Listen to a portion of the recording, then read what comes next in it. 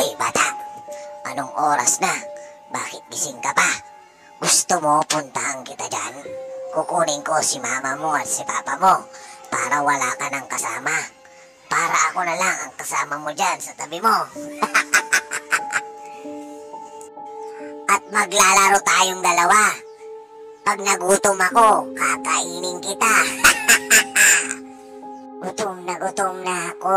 Gusto ko lang kainin ang. Ang tigas kasi ng ulo niya. Hindi sumusunod kay mama at kay papa. Kaya't kapag hindi ka pa natulog, sisip-sipin namin yung mata mo. Kaya't matulog ka na, ha? Kakainin ka na namin! Sabi ko na nga, Barbie, eh.